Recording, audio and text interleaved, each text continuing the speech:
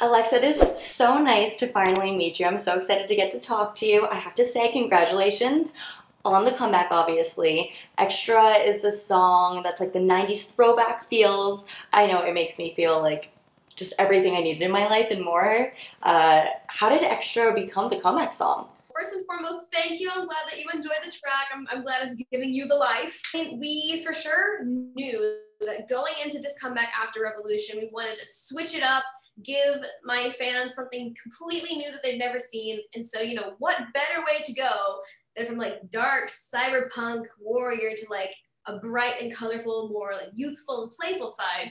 So when we first got the demo of the song, we all fell in love with it. And then, you mm-hmm. know, we eventually decided, okay, this will be the track. And then we got the lyrics, we started doing the recordings, and just the whole process leading up to the final mastered file of it being released. And then planning for the music video and everything. It was a complete process, but we just wanted to switch it up, you know? So that was the main goal for this. Now, if you haven't seen the music video, you should go watch it right now. Pause this interview and go watch the video. Come back to this because you need to. But the whole video, the music video focuses on the dance battle, which I'm obsessed with. We talked off camera. I was like, dance competition child, dance competition child. Like, we get it. It makes sense.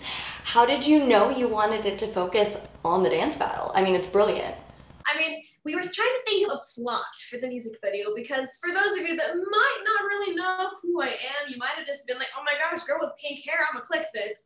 Um, so within the Alexa multiverse, there's a storyline that goes through. Every music video has a story and it all interconnects and weaves this intricate tale of this AI warrior person. But that wasn't the concept for this go around. So we're like, okay, what story can we provide? And so, you know, we draw from these old, well, not old, but I feel like to the Gen Z kids now will be old, but you know, these older right. movies that were iconic, like Step It Up, and like, uh, oh, wow, the other one just completely left my brain, but there's many dance movies that were popular late 90s, early 2000s. And so we drew a lot of inspiration from that to center that focus in the music video those dance movies are literally our childhood. So I feel like you need to go watch those too. Just do your research before you watch this video. That's what we need to like give the Gen Z kids. Go do your research and come back. Shra's very hot girl summer.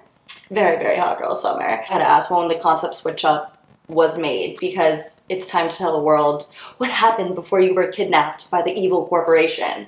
Because we wanted to go into this comeback throwing something completely new at you, we really wanted to be like, okay, so what would be like the exact opposite from what we've done? So definitely something more feminine, so to say, definitely something more energetic, more youthful, certainly like bouncier rather mm. than like a, a deep hitting bass. There's a lot of like bouncy and vibrant brass tones and Xtra. So we just kind of wanted to hit you with the exact like opposite of what we've usually been doing. You can see that in the choreography too, because in the past you've been super grounded and like low, and you're definitely bringing those old school, just again, 90s and 2000s hip hop moves that you see in those classic dance movies from back in the day, which I love. And the fact that I just had to say back in the day is so terrifying because I feel it. what just happened?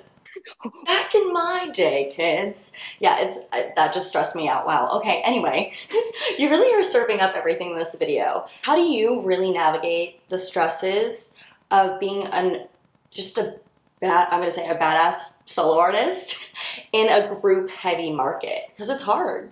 Well, thank you very much. I, I take that compliment. Thank you very much. Um, but man, balancing stress, that is definitely a thing. I wouldn't say so much is contributed from, you know, K-pop being a group oriented kind of genre.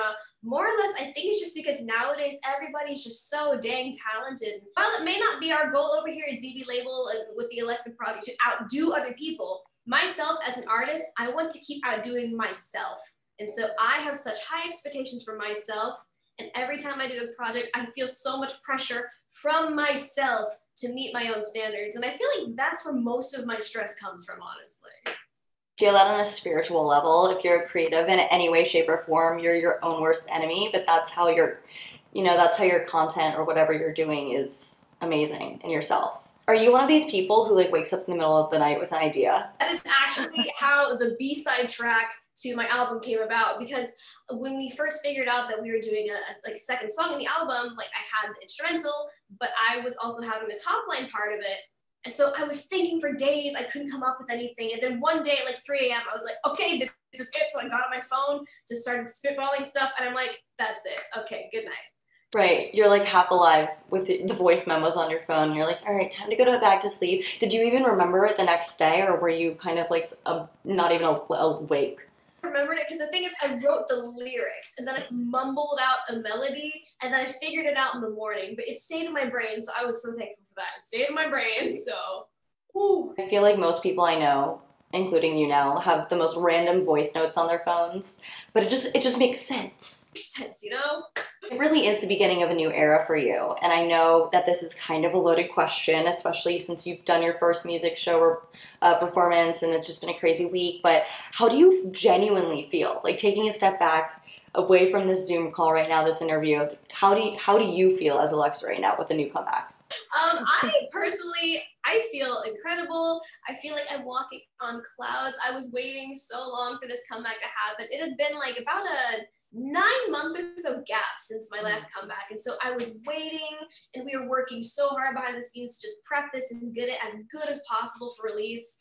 I'm just so content with everything. Seeing the music video made me so happy. Seeing all my fans' kind comments and their support, and seeing that we sold like over 500 plus albums pre-order. I was also blown away by that. So I'm, I'm very content, very happy right now, very blessed.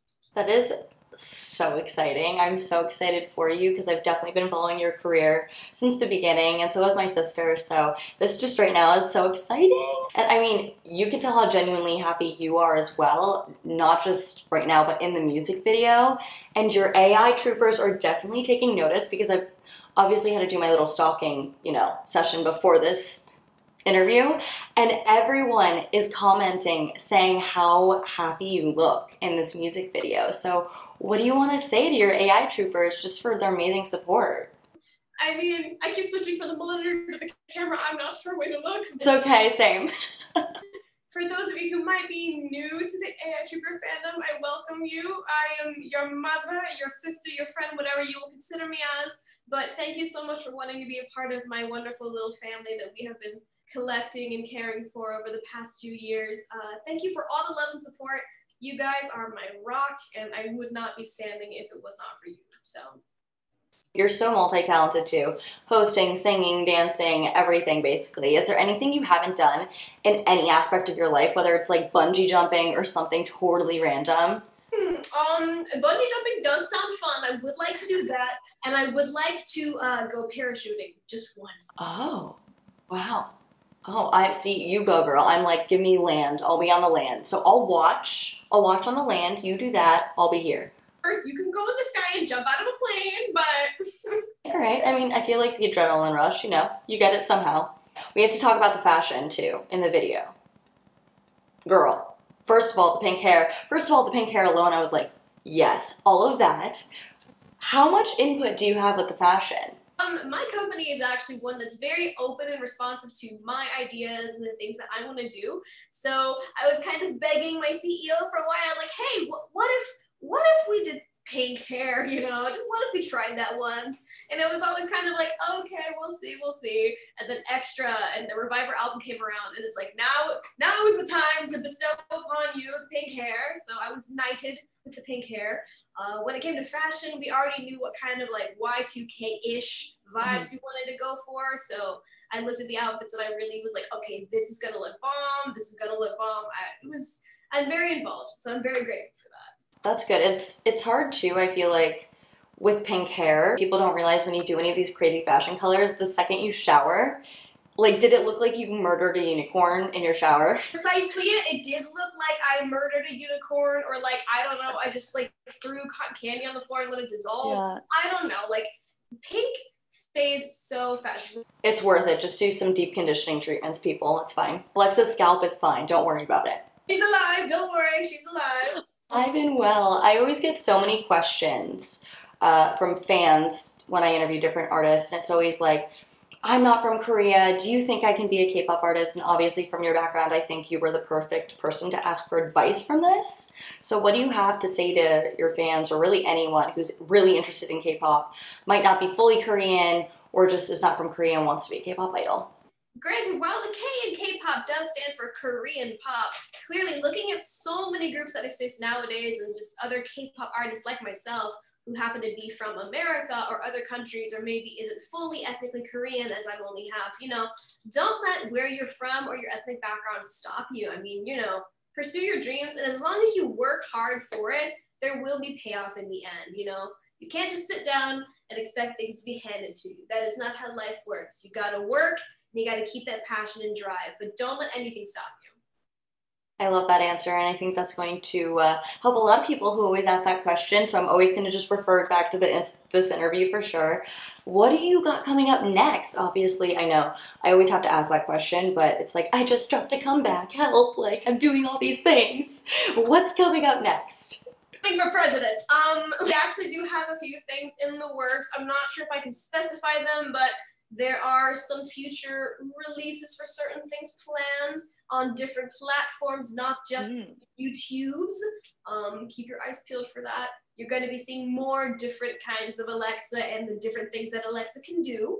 Oh my gosh, well, I'm very excited for that. Thank you so much for chatting with me today. I know that was the last interview of the day, so go eat, go sleep, go do what you gotta do, girl. Celebrate the comeback. Hopefully, I get to talk to you soon, too, with the future. Thank you so much for the wonderful interview. It was a joy getting to meet you. Thank you. Thank you so much. I will talk to you soon. Take care. Bye. We did it. We did it. Hooray.